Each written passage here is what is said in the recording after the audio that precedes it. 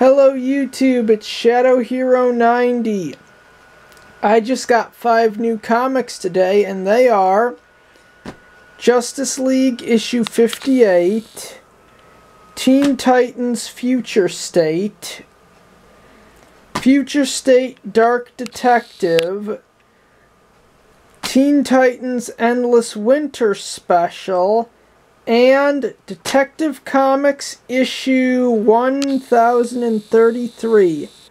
And always remember how much better DC Comics are than Marvel Comics.